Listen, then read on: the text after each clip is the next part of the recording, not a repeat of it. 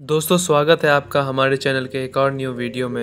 आप देख रहे हैं कॉस्मो आइए जानते हैं एक और नए शहर के बारे में। लेकिन इससे पहले चैनल पर आप नए हैं तो चैनल को सब्सक्राइब ज़रूर करें और बेल आइकन को प्रेस करें हमारे लेटेस्ट वीडियो सबसे पहले देखने के लिए।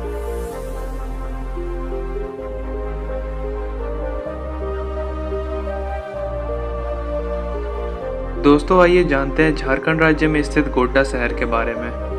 गोड्डा, जो कि गोड्डा ज़िले का मुख्यालय है और ये झारखंड राज्य के उत्तर पूर्व में बसा है और साथ ही ये संथाल परगना के अंतर्गत आता है। गोड्डा शहर अपने सिल्क के निर्माण और बुनाई के लिए प्रसिद्ध है, जिस वजह से इसे झारखंड का सिल्क सिटी कहते हैं। गोड्डा ज़िले का कुल क्षेत्रफल 2110 वर्ग किलोमीटर का है और यहाँ की आबादी तेरह लाख तेरह हज़ार पाँच सौ इक्यावन से भी अधिक की है, जो कि झारखंड में बारहवें स्थान पर आता है।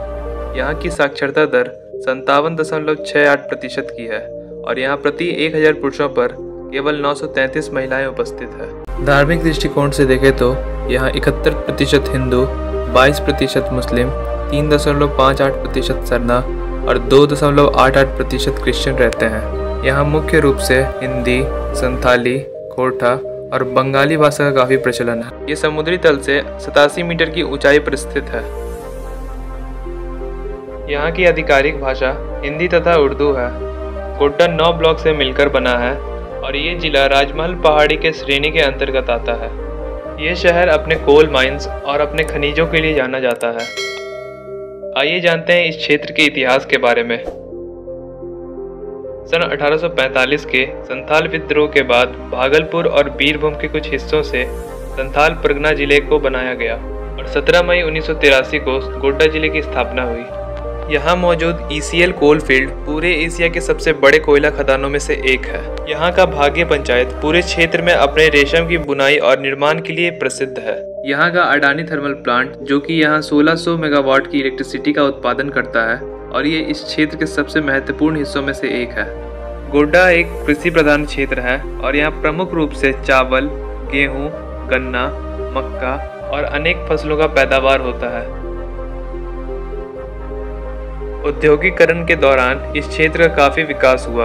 यहाँ जिंदल स्टील एंड पावर और अडानी पावर द्वारा कई सारे प्लांट का स्थापना किया गया। यहाँ कई सारे कोल माइंस हैं और यहाँ प्रचुर मात्रा में कई सारे खनिज पाए जाते हैं। गोड्डा जिला झारखंड के उत्तर पूर्व में झारखंड और बिहार की सीमा पर स्थित है। इसके पड़ोसी शहरों की बात करें तो इसके पूर्व में साहेबगंज और पाकुड़, पश्चिम में बांका, उत्तर में भागलपुर और दक्षिण में दुमका स्थित है। यहाँ के कुछ प्रसिद्ध लैंडमार्क की बात करें तो विवेकानंद कॉलेज चौक, गांधी मैदान, बापू चौक, कारगिल चौक और हटिया चौक यहाँ के कुछ प्रसिद्ध लैंडमार्क हैं। यहाँ के शिक्षण स्थलों की बात करें तो गोड्डा कॉलेज, गोड्डा महिला college, Tilak Manjhi agriculture college, saint Thomas school, Dayanand Arya Vedic public school और केंद्रीय विद्यालय जैसे अच्छे शिक्षण संस्था उपस्थित हैं। यहाँ के ट्रांसपोर्ट इंफ्रास्ट्रक्चर की बात करें तो ये शहर रेल और सड़क दोनों से जुड़ा हुआ है। यहाँ का गोड्डा रेलवे स्टेशन गोड्डा से चार किलोमीटर की दूरी पर स्थित है। और ये शहर, सड़क के माध्यम से अपने पड़ोसी जिलों से अच्छी तरह से जुड़ा हुआ है। गोड्डा राष्ट्रमार्ग 133 से जुड़ा है और यहाँ का निकटतम हवाई अड्डा, देवघर हवाई अड्डा है।